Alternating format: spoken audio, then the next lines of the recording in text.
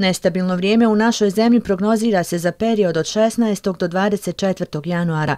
Očekuju se padavine umjerenog intenziteta, u Bosni snijeg, a kiša i susnježica u Hercegovini, navodi se u dugoročnoj prognozi Federalnog hidrometeorološkog zavoda. Prema istoj prognozi, krajem mjeseca očekuje se mnogo toplije vrijeme u znatno više temperature zraka.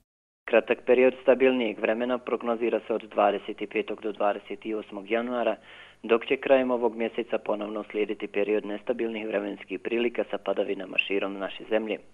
Jutarnje temperature od 16. do 28. januara u Bosni se očekuju od minus 10 do minus 5, a u Hercegovini od minus 2 do 3 stepena, dok će dnevne u Bosni biti od minus 5 do 0, a u Hercegovini od 3 do 8 stepeni Celzijusa.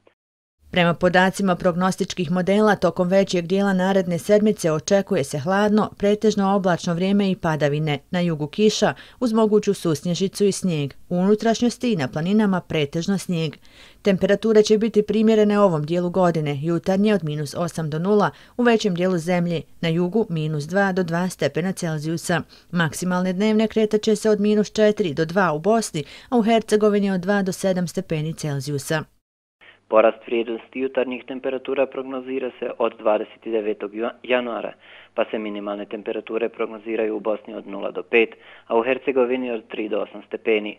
Maksimalne dnevne u Bosni kretaće se od 4 do 9, a u Hercegovini od 8 do 13 stepeni Celzijusa. Uz redovnu pojavu mraza i svakodnevne padavine u cijeloj zemlji, snježni prekrivač postepeno će rasti i poslužit će ozimim usjevima kao dobra zaštita od niskih temperatura. Sa narednim vikendom izglednija je dijelimična stabilizacija vremena. Padavine će oslabiti, pritome se temperaturni režim neće bitnije promijeniti. Oblačno vrijeme sa padavinama uslovljava nepovoljne biometeorološke prilike, što će negativno djelovati na većinu populacije, a tegobe kod hroničnih bolesnika i meteoropata će biti izraženije.